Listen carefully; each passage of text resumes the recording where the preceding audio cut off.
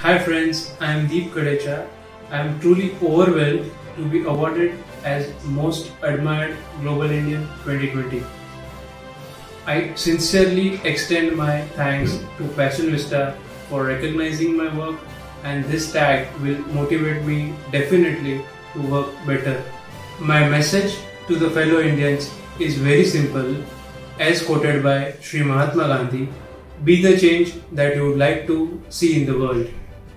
I request my fellow countrymen to at least start taking baby steps for the betterment of society and the nation.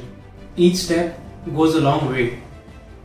Last but not the least, I would like to thank Passion Vista once again. Happy to be featured on the cover. Thank you. Jai Hind.